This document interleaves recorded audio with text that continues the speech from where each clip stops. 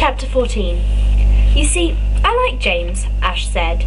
I think he's a little soft on vermin, but I don't want to see him in trouble. I certainly don't want to see him dead. Poppy felt the way she had last night when her body was starving for air. She was frozen, too still to breathe. I mean, do you want him dead? Ash said, as if it were the most reasonable question in the world. Poppy shook her head.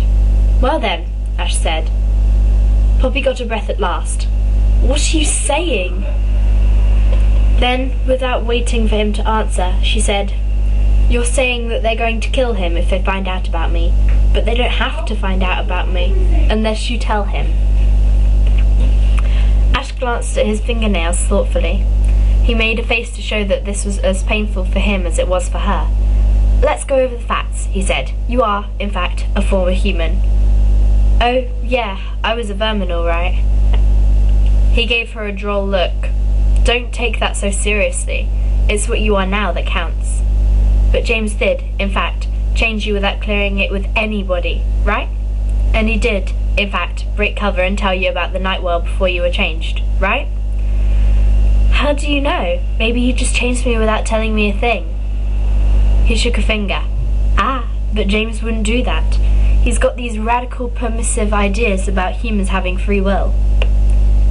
If you know all about me, why ask me? Poppy said tensely.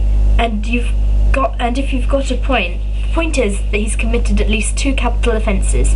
Three, I bet. He flashed the wild hand, some smile again. He must have been in love with you to have done the rest. Something swirled in Poppy, like a bird trapped in her ribcage tr- and trying to get out. She blurted, I don't see how you people can make laws about not falling in love. It's insane. But don't you see why? You're a perfect example. Because of love, James told you and then he changed you. If he'd had the sense to squash his feelings for you in the beginning, the whole thing would have been nipped in the bud. What if you can't squash it? You can't force people to stop feeling. Of course not, Ash said, and Poppy stopped dead. She stared at him. His lips curved and he beckoned to her. I'll tell you a secret. The elders know they can't really legislate how you feel. What they can do is terrorize you so that you don't dare show your feelings, ideally, so you can't even admit them to yourself. Poppy settled back. She'd seldom felt at, lo- at a loss. Talking to Ash made her head whirl, making made her feel as if she were too young and stupid to be sure of anything. She made a forlorn and helpless gesture. But what do I do now? I can't change the past. No, but you can act in the present. He jumped to his feet in lovely, graceful motion and began pacing. Now, we have to think fast. Presumably everyone here thinks you're dead. Yes, but so the answer is simple. You have to get out of the area and stay out. Go someplace where you won't be recognized, where nobody will care if you're new or illegal. Witches, that's it. I've got some cross cousins in Las Vegas that will put you up. The main thing is to leave now. Poppy's head wasn't just whirling, it was reeling. She felt dizzy and physically sick, as if she'd just stepped off the Space Mountain at Disneyland. What? I don't even understand what you're talking about, she said feebly. I'll explain on the way. Come on, hurry. Do you have some clothes you want to take? Poppy planted her feet solidly on the floor. She shook her head to try and clear it. Look, I don't know what you're saying, but I can't go anywhere right now. I have to wait for James. But don't you see? Ash stopped his whirlwind pacing and rounded on her. Her eyes were green and hypnotically brilliant. That's just what you can't do. James can't even know where you're going. What? Don't you see? Ash said again. He spread his hands and spoke almost pityingly. You're the one, the only. You're the only thing putting James in danger.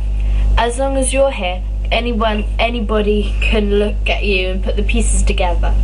Your circumstantial, circumstantial evidence that he's committed a crime. Poppy understood that. But I can just wait and James can go away with me. He would want that.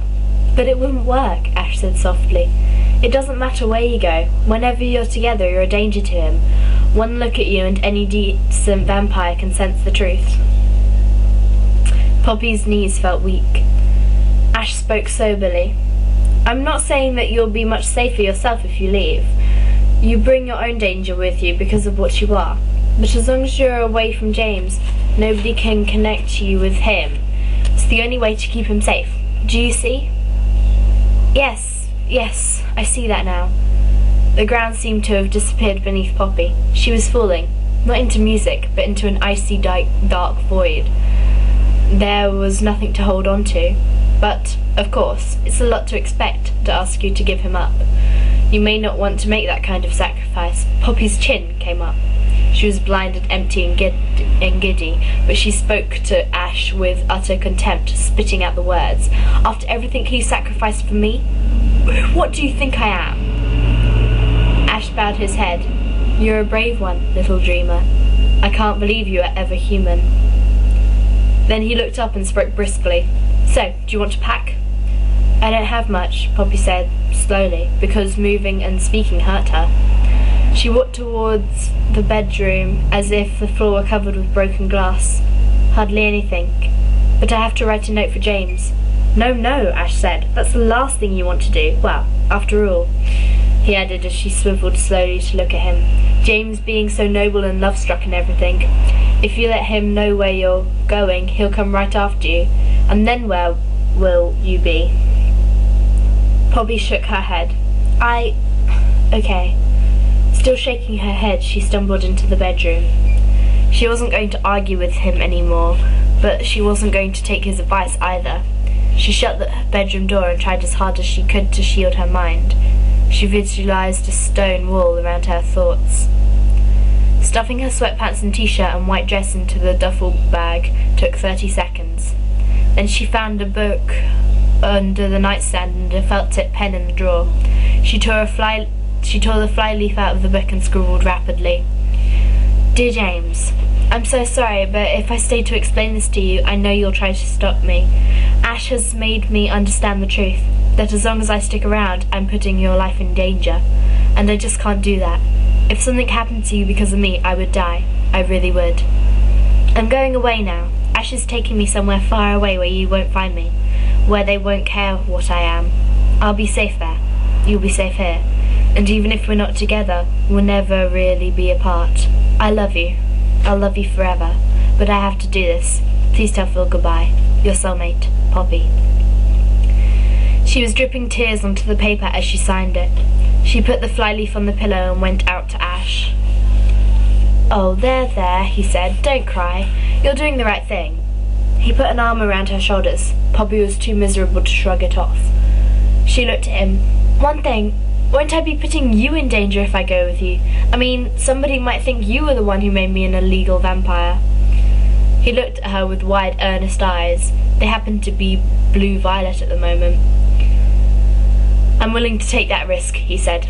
I have a lot of respect for you. James took the stairs two at a time, sending probing thoughts ahead of him, then refusing to believe what his own senses told him. She had to be there. She had to be. He pounded on the door at the same time as he was thrusting the key into the lock. At the same time, he was shouting mentally, Poppy! Poppy, answer me! Poppy! And then, even with the door flung open and his own thoughts ricocheting off the emptiness in the apartment, he still didn't want to believe. He ran around, looking at every room, his heart thudding louder and louder in his chest. Her duffel bag was gone. Her clothes were gone. She was gone. He ended up leaning against the glass of the living room window. He could see the streets below, and there was no sign of Poppy. No sign of Ash, either. It was James's fault. He'd been following his mother's trail all afternoon, from decorating job to decorating job, trying to catch up with her. Only to find, once he did catch up, that Ash was already in El Camino, and had, in fact, been sent over to James's apartment hours ago, with a key.